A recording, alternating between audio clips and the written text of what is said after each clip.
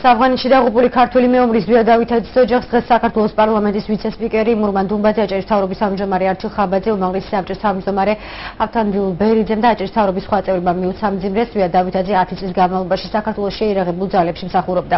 ბოლო წლებში კი ავღანეთში აისაფის ოპერაციაში მონაწილეობდა. იგი წარმოშობით ქობულეთის რაიონის სოფელ ციხისძირიდან იყო. 33 წლის უმცროს სერჟანტ ყავს მეუღლე და 5 წლის ქალიშვილი. ზვია დავითაძის ოჯახი ამჟამად სამტრედიაში სოფელ ყვირიკეთში ჩვენ სამძივრე და თავრობა უმაღლესი საბჭო აჭარის ავტონომიის სახელით მოწყობის სახელით სამძივრე ოჯახს და მაქსიმალურად ეცდებით რომ ის ტიული რაც უნდა ოჯახს ჩვენი